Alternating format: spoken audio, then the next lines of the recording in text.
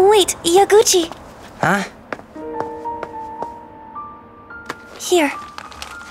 The exchange present for the Christmas party. You know, since we skipped out on it. Oh, So what do you say we trade them? all right. Here. What's inside? They're gloves. I made them myself. My mom wrapped them for me. Oh, wow. This works out nicely. If you play games in this wind, your hands will go numb. Yeah, true, but if I play with gloves on, I can't play as well. I won't have any freedom. It's better than your fingers getting stiff from the cold. Yeah. Huh? Hey, you're really red. Are you okay? Oh, am I? You have a fever. And it's finally winter break. It'll go to waste now that you've caught a cold.